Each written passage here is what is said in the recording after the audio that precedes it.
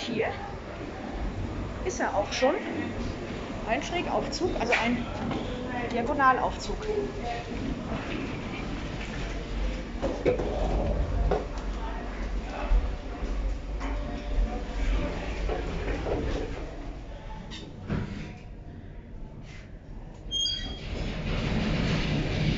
Das ist was Besonderes. So Kettenaufzüge, so Schräg Kettenschrägaufzüge sind selten geworden.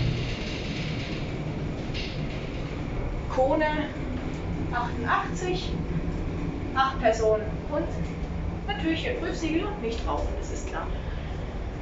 Ja.